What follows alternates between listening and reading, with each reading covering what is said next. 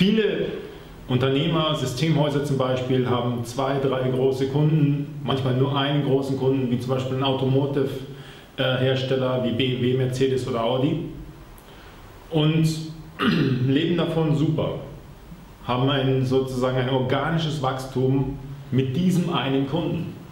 Und irgendwann, und zurzeit ist gerade so eine Phase, wo es der Automotive-Industrie gerade nicht so gut geht, stellen die sich dann eine Frage und sagen sich, hm, was, wenn dieser eine große Kunde plötzlich einknickt, ja, von heute auf morgen plötzlich seine Budgets runterfährt, wenn es dem plötzlich nicht mehr so gut geht wie in den letzten 30, 40 Jahren, dann muss ich mich anpassen.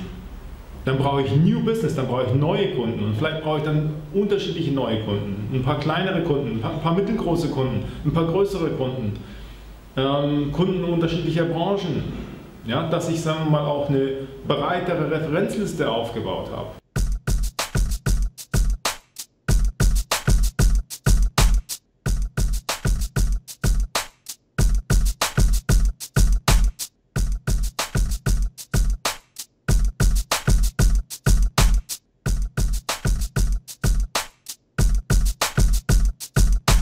Okay, so, jetzt lasse ich mal die folgende Frage stellen. Welches ist deiner Meinung nach der wichtigste Skill in deinem Sales-Team, in deiner Organisation von diesen drei? Die meisten, die allermeisten Unternehmer würden mir antworten, die Closer. Diejenigen, die die Kohle reinbringen, richtig? Die die Abschlüsse machen. Abschlüsse, Abschlüsse, Abschlüsse. Das sind die wichtigsten. Ich stehe hier heute und sage dir hier frei in die Kamera, die, die mit Abstand, die mit Abstand wichtigsten Fähigkeiten, die mit Abstand wichtigsten Leute sind die Leute mit den Fähigkeiten in deinem Unternehmen, die die Fähigkeiten des Finders haben. New Business Generation. Ja. New Markets. Ja. Darauf basiert das Wachstum, das echte Wachstum ja, deines Unternehmens. Ja, viele, viele Unternehmer sind einfach aus, daraus entstanden, Unternehmen, dass sie sagen, hey, ich war mal angestellt und nehme jetzt in meinem Angestelltenverhältnis einfach hier ähm, eine bestimmte Firma heraus, damit mache ich mich selbstständig und dann läuft das erstmal eine Zeit lang. Viele Unternehmer, Systemhäuser zum Beispiel, haben zwei, drei große Kunden, manchmal nur einen großen Kunden, wie zum Beispiel ein Automotive-Hersteller wie BMW, Mercedes oder Audi und leben davon super, haben ein, sozusagen ein organisches Wachstum mit diesem einen Kunden.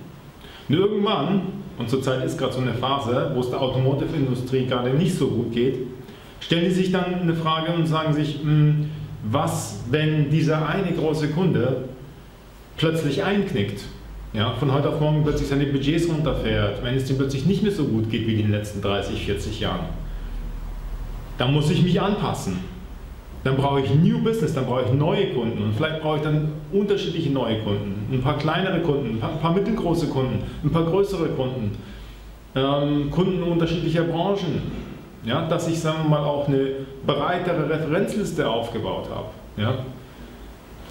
Dass ich einfach nicht nur in einer Branche, in Deutschland ist es leider immer so, wenn du in irgendwo in einer Branche festgefahren bist, dann gibt dir teilweise niemand anderes eine Chance, weil die sagen, du bist jetzt seit 20 Jahren in der Automotive-Branche.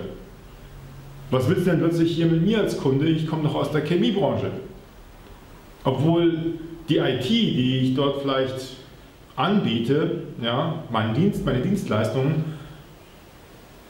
zu 80, 90 Prozent identisch ist. Ja. Und deswegen ist es sehr wichtig, immer breit gestreutes Kundensegment, Bestandskundensegment aufzubauen. Und das machst du mit den Findern. Das machst du ganz deutlich mit den Findern. Das kein Closer der Welt setzt sich hin und sagt, hey, ich bin hier der Sales, der Regional Sales Manager, also der regionale Sales Manager. Ich will mein Gehalt, ich, ich habe meine, mein, mein, mein Auto, mein, meine, mein Hund, meine Katze, mein, äh, meine, meine Frau, mein Haus, das muss ich abbezahlen. Ich will hier mein Fixgehalt von 80.000 ja, und jetzt will ich gefälligst hier eine Bestandskundenliste oder zumindest irgendwie eine Leadliste, ja, wenn es auch keine Bestandskundenliste ist, das ist dann vielleicht eher der Typ hier. Eine Leadliste will ich zumindest, ja. Ich will hier eine Liste von, von 3, 4, 500 Firmen und die telefoniere ich an, ja.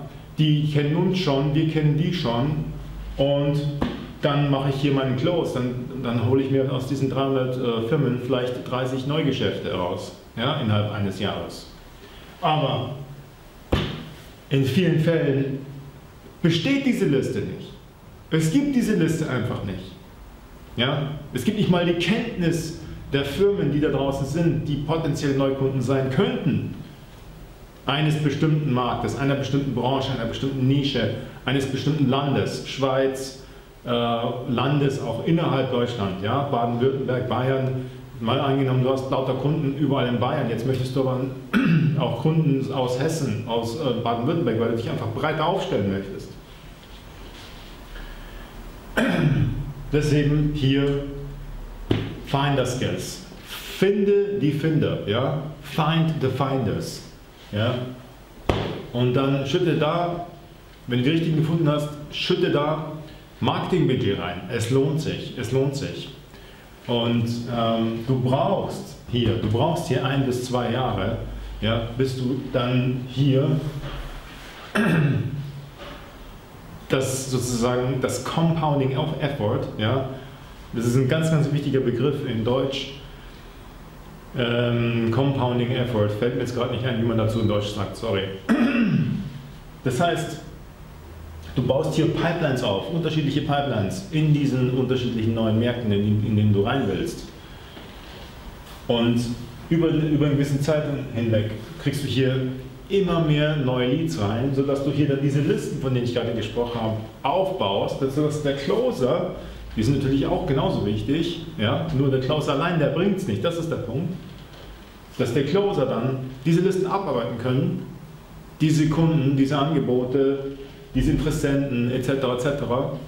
und hier eben den Developer neue Bestandskunden zuspielen, die der Developer pflegen kann, weiter ausbauen kann, etc. etc.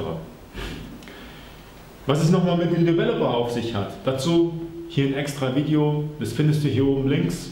Schau dir das auch noch an und hier abonniere meinen Kanal, wenn du meinen Kanal nicht abonniert hast. Es kommen weitere wirklich, wirklich wertvolle Tipps und gute, gute ähm, Videos zum Thema Sales und Marketing. Bis gleich, wir sehen uns sofort. Tschüss.